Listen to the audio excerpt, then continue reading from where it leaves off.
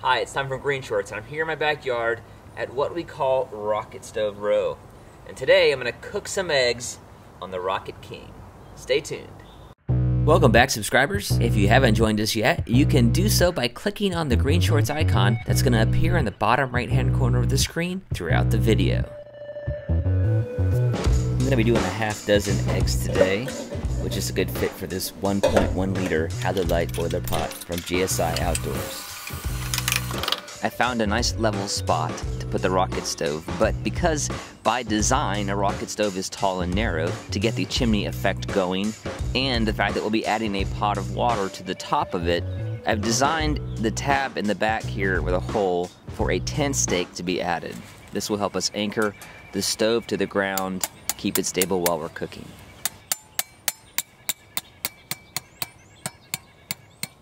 I don't want it pulling the stove down just enough that it will keep it from tipping. I left my rocket stove out in the elements after its first firing because I kind of want to see what kind of patina forms on the outside with rust and how that affects the life of the stove. I am going to experiment with some high temperature paint, but I want to see what the rust does first. That may actually be an easier finish to maintain given the heat that the stove endures.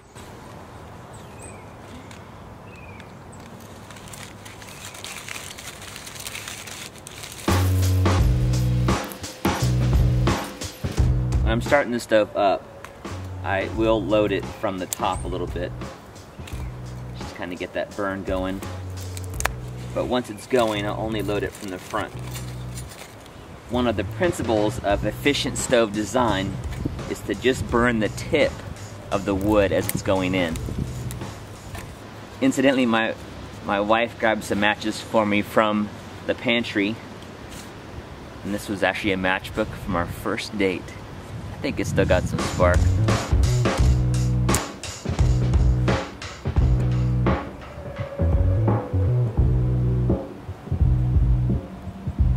Yep, she still lights my fire.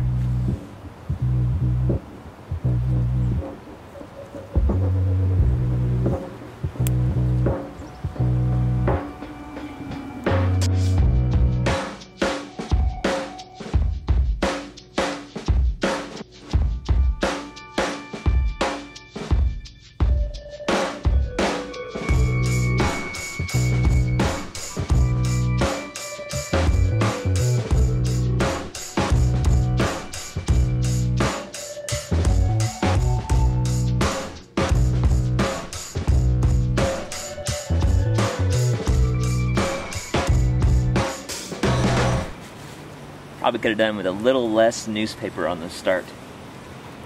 The ash kind of clogs up the airflow, slows that down, which we don't want. Why it's a little smoky still.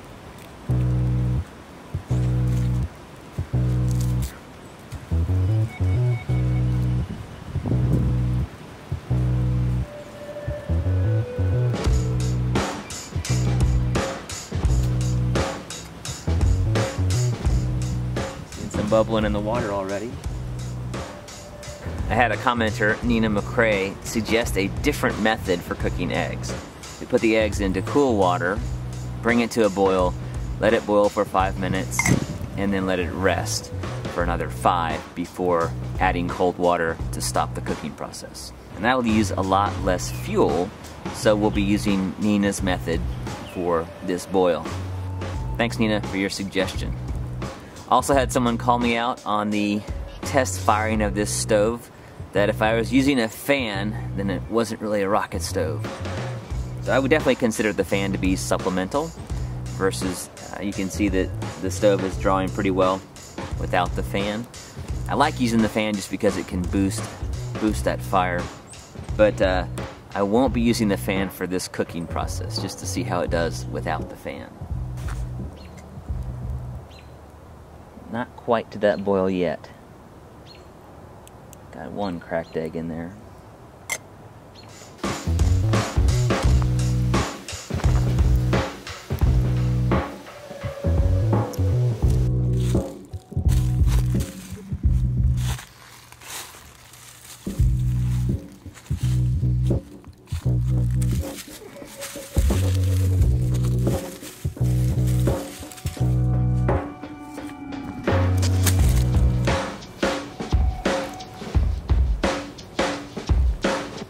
Talking. Alright, we'll start the clock.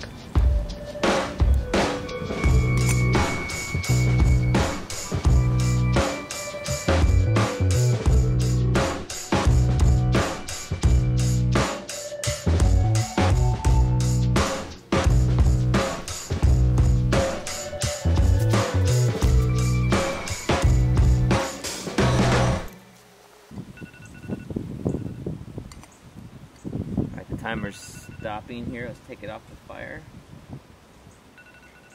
And we're gonna let it rest for five minutes.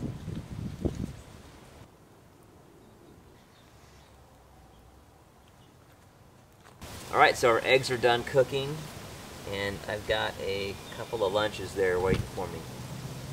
I may even make some egg salad. One thing I noticed with this particular burn is that when the pot was on the top of the stove, it decreased the draw. In other words, the airflow wasn't as good. One thing I might do to modify the design is to notch out the grooves here a little bit bigger so our airflow continues to move up and around the pot, pull that heat up with it. But for now, I'm pretty pleased with how the stove did. If you're interested in building the Rocket King rocket stove yourself, I've got plans for sale on my website for $2.99. Make sure you watch the build video first. If you've already purchased the plans, thank you. Any future modifications to the design will be provided to you free of charge. Thank you for helping support this channel. Thanks for all your comments on these rocket stove videos. I'm going to use them to make this stove and these other stoves better. One of the things I love about YouTube is our ability to interact as a community and offer suggestions and improvements. As always, our mission here at GreenShortz is to help you see green so you can be green. And save a little green by doing it yourself. Thanks so much for watching. Please like and share and subscribe for a new DIY video almost every Friday.